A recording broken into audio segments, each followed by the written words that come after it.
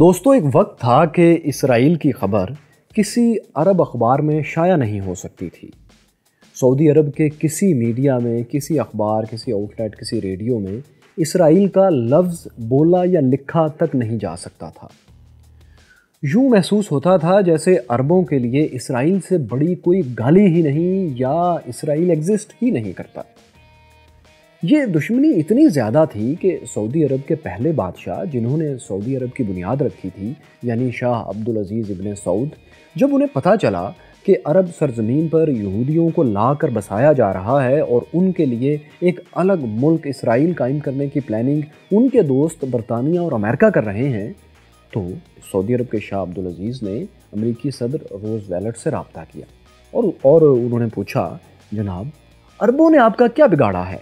यहूदियों पर अगर हिटलर ने जुल्म किए हैं तो हिटलर तो जर्मन था। जुल्म उन पर जर्मनी में और पोलैंड में हुए हैं। उन्हें जर्मनी की ज़मीन का कुछ हिस्सा दे दें।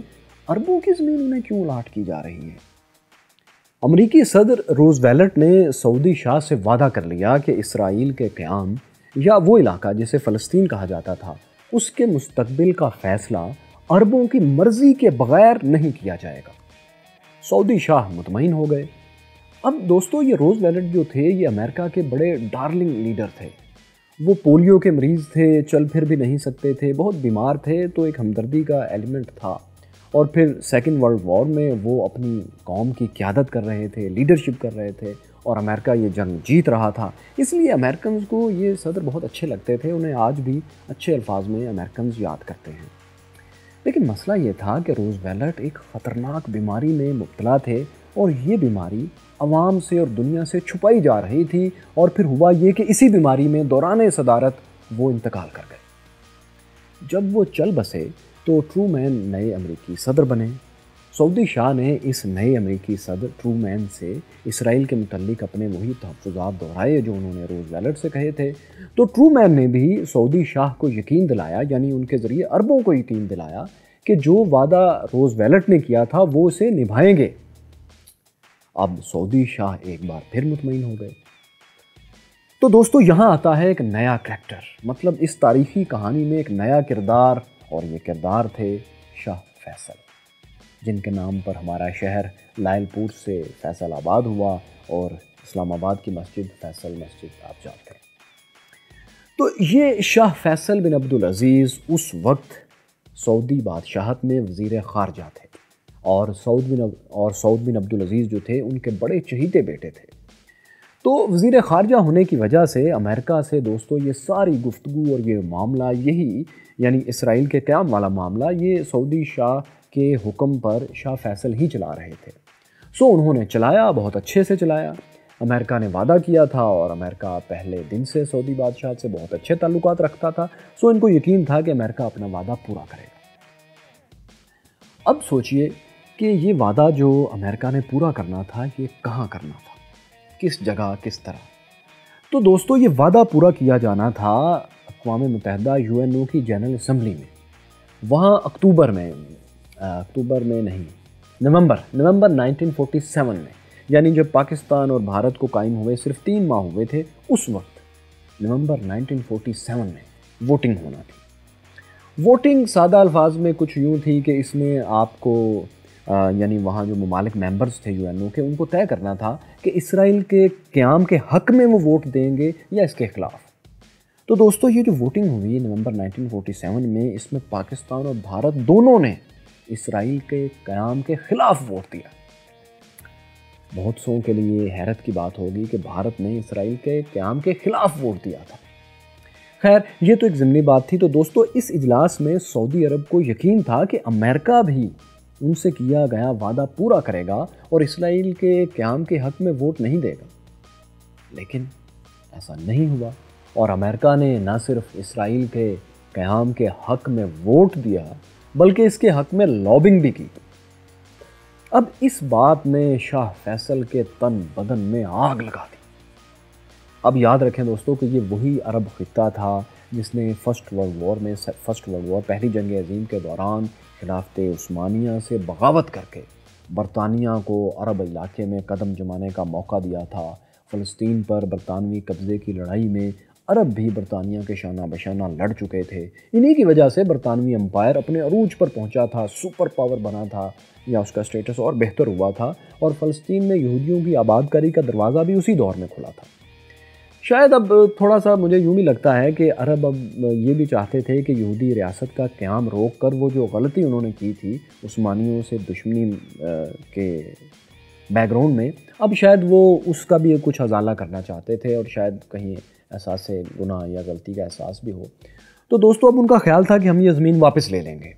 इसके अलावा अमेरिका से भी अब उनके नए ताल्लुक थे अच्छे ताल्लुक के थे, क्योंकि दूसरी जंग अजीम से पहले ही अमरीकी कंपनियों ने सऊदी अरब में तेल भी भी दरियाफ्त किया था और तब तेल निकाल भी रहे थे, जिससे सऊदी अरब अमीर हो रहा था। तो अरब ममालिक से अमेरिका और दूसरी आलमी ताकतों को तेल जो सप्लाई हो रहा था और अरब अमीर होना शुरू हो गए थे तो ये एक ताल्लुक भी बन गया था। सो ये लोग जो सऊदी अरब के थे, नौ दौलतियों की तरह नए नए अमीर लोगों की तरह नए नए हुक्मरान थे, लेकिन तपते सहराओं के पाले थे। इनमें अभी अरबों की पुरानी अहमियत ज़िंदा थी। इन्होंने अभी ना तो दौलत की वो रेल पेल देखी थी ना भी ईरान से ऐसी उनकी दुश्मनी थी जैसी आज आप देखते हैं। ना इनके बच्चों के पास 20-20, 30-30, कई कई सौ लग्जरी गाड़ियाँ और बंगले होते थे। यानी इन अरबों के लिए जो उस वक्त थे 1947 और 8 के इर्द गिर्द, लड़ना, मरने का, लड़ने मरने का फैसला करना, जंग करना और अपने नज़रियात के लिए सब कुछ लुटा देना इतना मुश्किल नहीं था, क्योंकि अभी कल तक तो वो बदुई ज़िंदगी के आदि थे और उसमें रह रहे थे। सो वापस चले जाना उनके लिए इतनी बड़ी बात नहीं थी।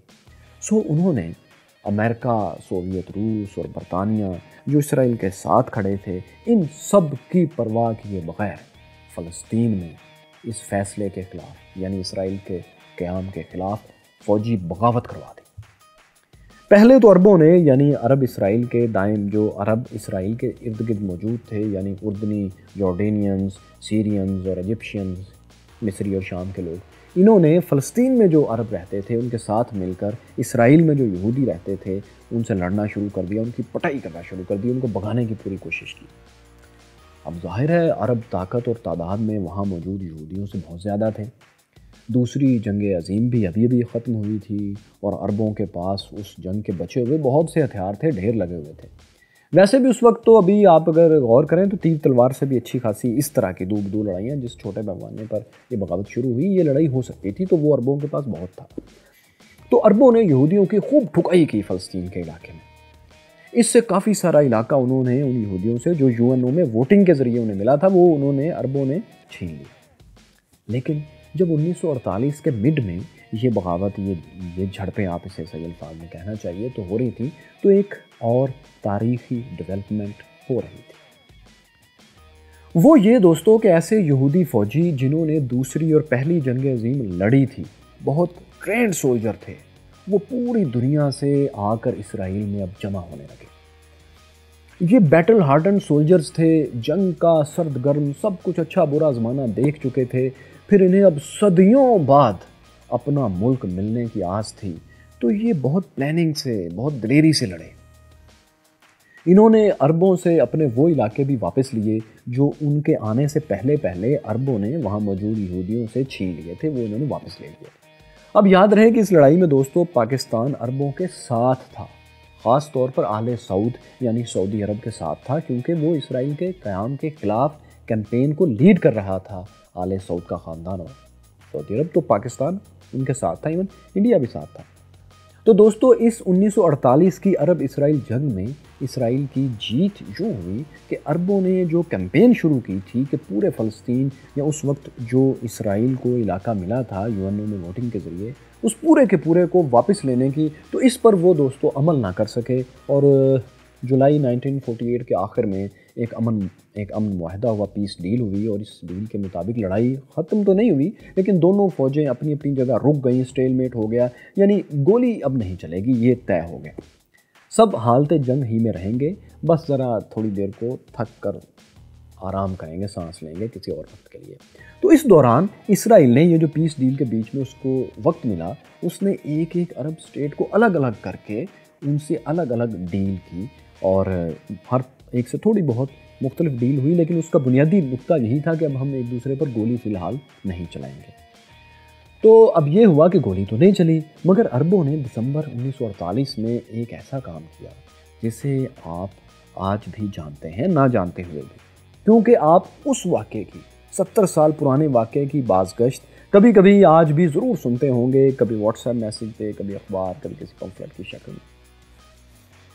वो वाक़ ये था कि शाम यानी सीरिया के शहर दमिश्क में, जो इसराइल के हमसाए में भी है, हमसाए ही में है, जहाँ सलाहुद्दीन अयूबी की कब्र है, वहाँ अरब लीग का एक दफ्तर बना। अरबों ने मिलकर ये तय किया कि हम इसराइल को किसी सूरत एक मुल्क तस्लीम नहीं करेंगे, बल्कि इसराइल को ज़िंदा ही नहीं रहने देंगे। अपने प्लान को दोस्तों अमली जामा पहनाने के लिए अरबों ने तय किया कि कोई अरब मुल्क इसराइल से ना कुछ खरीदेगा और ना कुछ बेचेगा। फिर अरब यही नहीं रुके। उन्होंने ये भी तय किया कि कोई अरब मुल्क ऐसी किसी कंपनी के साथ काम नहीं करेगा जो इसराइल से कुछ भी ताल्लुक रखती है। बस, नहीं। अरब इसराइल से इतने नाराज़ थे, इतने इतने गुस्से में थे कि उन्होंने ये तय किया कि वो किसी ऐसी कंपनी से भी कोई कारोबार लेन देन या ताल्लुक नहीं रखेंगे जिसका इसराइल या इससे ताल्लुक रखने वाली किसी कंपनी से भी कोई ताल्लुक होगा। ऐसा। बस देखते जाएँ कि अरब और इसराइल की नफरत अभी चंद दहाइयों पहले किस लेवल पर थी, इस सारी कहानी से आप देख लें। ये मज़े की कहानी है, बस गौर से सुनते जाएँ, बहुत कुछ अब ये आपको और समझ आएगा, आपको फिर ये भी समझ आएगा कि आज जो अरबों और इसराइल के दरमियान, यहूदियों के दरमियान छुपी हुई मोहब्बतें ज़ाहिर हो रही हैं तो ये कहाँ से आई? तो दोस्तों 1948 में अरबों ने इसराइल का मुकम्मल समाजी और मुआशी बाइकआउट कर दिया ऑफिशियल। इस बाइकआउट के लिए एक दफ्तर, एक ताकतवर महकमा बना दमिश्क में ही, सीरिया में इसका दफ्तर था। जो ये देखता था कि कौन कौन सी प्रोडक्ट्स को जो इसराइल से कुछ भी ताल्लुक़ रखती हैं, इसका नाम उस लंबी सी फहरिस्त में ऐड करना है और लोगों को बताना है कि इससे कुछ मत खरीदें, कुछ मत बेचें, इस कंपनी से काम ना करें। इवन बहुत से गुलकार और फनकारों को भी उन्होंने बैन किया, शायद मार्लन मनरो भी अदाकारों में से थी जिनको अरबों ने बैन किया। इस कंपेन के दौरान Coca Cola McDonald's Pepsi cold drink Ford की कार, ऐसी बहुत सी चीज़ें बैन की। अरबों ने लंबी फहरिस्त थी और वो फहरिस्त अरब बनाते फिर पाकिस्तान और इस तरह के बाकी मुस्लिम ममालिक में भी वो चीज़ जाती है। और हर शख्स ये क्रेडिट लेने की कोशिश करता कि इस लिस्ट में एक नाम और ऐड करते तो इतनी नफरत थी अरबों और इसराइल और उनके था आज भी जब आप दोस्तों अपने इर्द गिर्द कहीं देखते होंगे इसराइली मसनूआत की बाइकआउट की तो ये कहानी आज से नहीं चली ये बहुत पुरानी है और ये इस, इसके क़्याम से ही चल रही है। दोस्तों, ये बाइकआउट चलता रहा, इसमें सख्ती आती रही और अरब ये पॉलिसी अपने गैर अरब दोस्तों, पाकिस्तान और दूसरों के साथ शेयर करते रहे। पाकिस्तान इस्लाम की मोहब्बत में अरबों के साथ खुलकर इसमें शामिल रहा। उन्होंने इसराइल को अपना उसी तरह दुश्मन समझा जैसे अरब समझते थे, आज भी समझते हैं।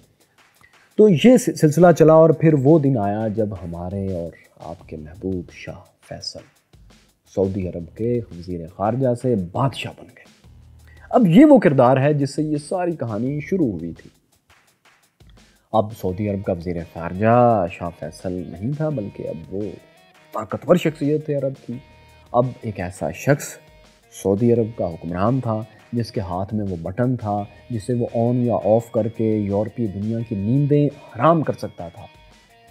ये बटन था तेल को ऑन या ऑफ़ करने का। मैं बात कर रहा हूँ दोस्तों 1964 की, उन्नीस सौ चौंसठ King Faisal bin Abdul Aziz Shah Faisal ने सऊदी अरब के क़्याम में और इसराइल के ख़िलाफ़ अरबों की पूरी मुहिम को लीड किया था और आलमी सफारती महाज पर भी और जंग में भी। अब अब इन्हीं शाह फैसल के दौर में अरबों और इसराइल में दोस्तों एक और जंग छिड़ गई, उन्नीस सौ सड़सठ में 1967 में दोस्तों 1967 में ये हुआ कि अरबों ने इसराइल पर हमला कर दिया और इसराइल ने तमाम अरबों पर अपने इर्द गिर्द जवाबी हमला कर दिया। एक प्रेमटिव स्ट्राइक थी, एक कॉम्प्लेक्स वजह थी, लेकिन इन अरबों की इसराइल से फिर जंग शुरू हो गई। सऊदी अरब की कुछ फ़िज़ाई ताकत उनके साथ थी इस जंग में।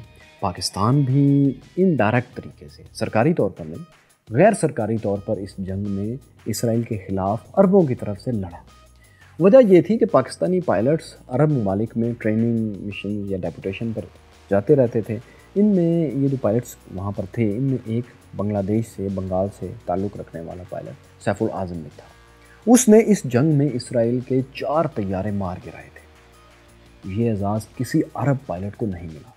लेकिन दोस्तों, इस छः दिन के जंग में इस इनफरादी हीरोइक एक्ट के अलावा अरबों की कोई कामयाबी नहीं थी। इन छः दिनों में इसराइल ने अरबों को बहुत मारा। वो मार पड़ी अरबों को, वो मार पड़ी, इतनी कुट लगी कि मिस्र और शाम और इस तरह के बाकी अरब ममालिक इसराइल का खात्मा तो क्या करते? अपना बहुत सा रकबा, बहुत बड़ा इलाका हती कि बैतुलमक़दस भी इसराइल के कब्ज़े में दे बैठे। इस जंग में इसराइल को अमेरिका की भी भरपूर मदद हासिल थी। अब जहन में रखें कि अमेरिका सऊदी अरब का इतिहादी था उस वक्त, आज की तरह। फिर भी वो इस जंग में इसराइल की हथियारों और पैसे से मदद कर रहा था, जिस पर शाह फैसल और अरबों के पुराने ज़ख्म जब अमेरिका ने यूएनओ में वोट देकर बदहदी की थी, वो ज़ख्म ताज़ा हो गए। अरबों को इस शिकस्त से इतनी तकलीफ़ पहुँची कि इंतकाम की आग अंदर ही अंदर सुलगने लगी। वो इसराइल के ख़िलाफ़ एक और जंग की तैयारियों में लग गए। छः साल उन्होंने इस जंग की तैयारी की। इस तैयारी के दौरान ही मिस्र के सदर जो थे अनूर सादात और शाह फैसल में मुलाकातें भी हुई और इनमें तय पाया कि अगर अगली जंग में अमेरिका ने इसराइल की मदद की तो अरब ममालिक जो तेल पैदा करते हैं, वो अमेरिका का तेल बंद कर देंगे। यानी तेल को बतौर हथियार इस्तेमाल करेंगे। तो दोस्तों छः बरस की तैयारियों के बाद छः साल की तैयारियों के बाद, पूरी प्लानिंग के साथ उन्नीस सौ तिहत्तर 1973 में उन्होंने एक बार फिर इसराइल पर दो तरफ़ से हमला कर शुरू में अरबों ने, इस जंग के शुरू में अरबों ने ज़मीनी और फ़िज़ाई जंग में इसराइल को घेर लिया था। इसराइल को अपनी मौत नज़र आने लगी थी। लेकिन बहरी जंग में, समंदर की लड़ाई में अरब इतने स्ट्रॉन्ग नहीं थे, कमज़ोर थे। तो इस जंग में भी सऊदी शाह फैसल अपने अरब इतिहादियों के साथ थे। अगरचे उन्होंने इतिहादियों की मदद के लिए कोई बड़ी फ़ौज नहीं भेजी थी।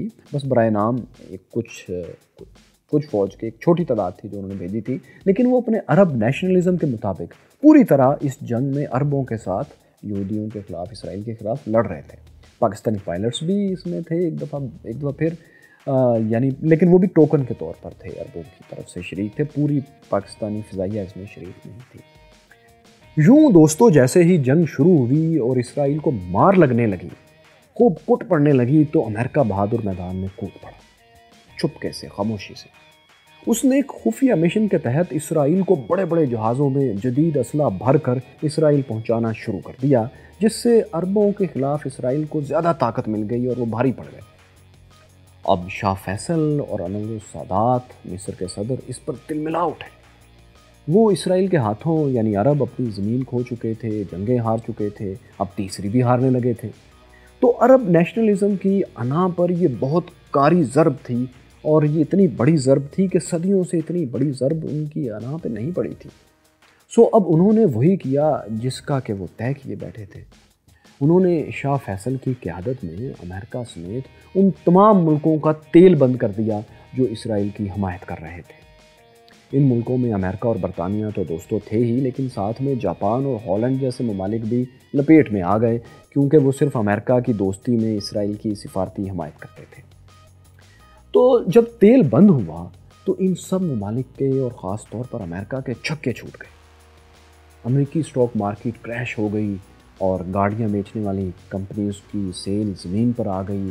अमेरिका में सरमायादारों के इन्वेस्टर्स के पसीने छूट गए और जापान और वो दूसरे ममालिक जो सिर्फ़ अमेरिका की वजह से इसराइल की हमायत करते थे, वो अमेरिका पर पिल पड़े कि तुम्हारी वजह से हम एक अजाब में आए हैं, अब हमें निकालो। तो अमेरिका के लिए एक सिफारती इंटरनेशनल सतह पर एक वजारत खारजा का मसला भी बन गया। तो दोस्तों, अमेरिकन, अमेरिका की मॉडर्न हिस्ट्री में उन पर ऐसा सख्त वक्त कम ही आया है और नुसरत फ़तेह अली की कवाली की अल्फाज में हम इसे कह सकते हैं कि किधरे ना पहनदी दसा कुछ ऐसा हाल था। उनका तेल बंद हुआ तो उनका जैसे अपना तेल निकल गया। इस सारी सूरत हाल में अमरीकियों के काम आया उनका जीनियस जहीन वज़ीर खारजा हेनरी किसिंजर उसने यहूदियों से मिलकर, शाम से सीरिया से बात करके और बाकी अरबों से मिलकर उसने पाँच महीने में ही मार्च 1974 में ऑयल एम्बार्गो, यानी तेल की जो बंदिश थी, ये ख़त्म करवाई, तेल की सप्लाई चालू करवाई दोनों पार्टियों में, इन दोनों में अरबों, अमेरिकन, इसराइल, सब में माहिदा ये हुआ कि इसराइल मिस्र और शाम को उनके वो इलाके वापस कर देगा, जो छः साल पहले की जंग में इसराइल ने उनसे छीने थे।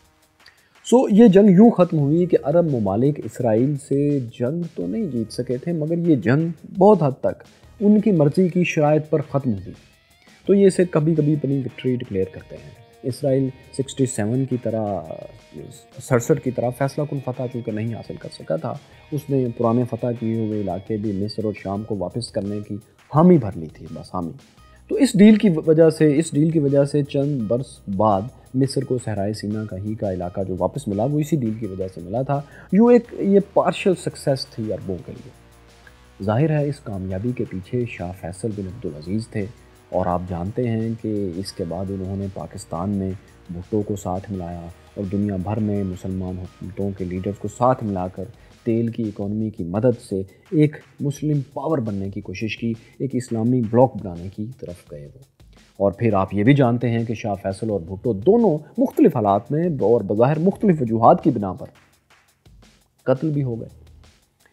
इस तारीख और वाक़ात में ये जो सारा हुआ और फिर ये लोग कत्ल हुए, कुछ लोग दोस्तों कॉन्स्परेसीज तलाश करते हैं। मुमकिन है हो, मुमकिन है ना हो, वैसे ये हमारा मौजू नहीं, फिर कभी सही इसलिए हम इसको फ़िलहाल एक साइड पर रखेंगे और उम्मीद है आप ये जो सारी तारीख मैंने आई थिंक पंद्रह बीस मिनट में आपके सामने अरब इसराइल की रखी है, आप ये तो समझ गए होंगे कि अभी कल तक इसराइल को ख़त्म करने के लिए अरब और ख़ास तौर पर सऊदी अरब कितना जज्बाती था।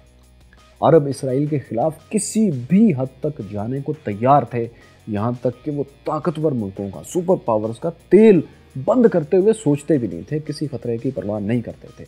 जंग शुरू कर देते थे, जाने ले लेते थे, दे देते थे अलाइंस बनाते थे और अपने इकनॉमिक मुआशी मफादात भी एक साइड पर रख देते थे। मतलब इसराइल से से दुश्मनी में, उनकी मुखालफत में जो करना पड़ता था, करते थे, लेकिन इसराइल से, यहूदियों से दोस्ती और अरब करें। ना ना। ये नहीं हो सकता था। तो दोस्तों, अगर ये सब कुछ था, इसकी सारी तारीखी जोग्राफियाई वजूहत थी तो अब ऐसा क्या है कि सारे अरब लाइन में लगे हुए हैं कि चलो चलो, तलबेब, चलो चलो चलो, इसराइल, चलो। इसकी वजह इस कहानी से दोस्तों, ज़्यादा दिलचस्प है, जो भी मैंने आपको सुनाई है। तो माई क्यूरियस फेलोज आप यकीनन ये वजह और ये कहानी सुनना चाहें। मैं आपको सुनाना चाहूँगा। लेकिन अभी ये वीलॉग काफ़ी लंबा हो गया ये कहानी कि फिर ये इतनी नफ़रत अब दोस्ती में क्यों बदल रही है ये आपको मैं अपने अगले वीलॉग में यहाँ आप, आपको बताऊँगा यहाँ आप देख लीजिएगा। और अपनी राय कमेंट्स में ज़रूर दें कि आपके ख्याल में अचानक अरब दुनिया इसराइल की दुश्मन से दोस्त क्यों बनने जा रही है? और मैं आपको ये भी बताऊँगा कि मैं क्या समझता हूँ कि मुस्तबिल में इस खत्े में यानी अरब और पाकिस्तान का ये जो खत्ता है, इसमें पाकिस्तान और इसराइल के ताल्लुक क्या हो सकते हैं? और सऊदी अरब क्या कभी और अरब ममालिक इसराइल को तस्लीम करेंगे या नहीं करेंगे? क्या होगा? इसकी इसकी एक लॉजिकल वजह जोग्राफियाई और माशी वजह है और वो कंक्रीट है, ये मैं आपको अगले वीडियो में यहाँ बताऊँ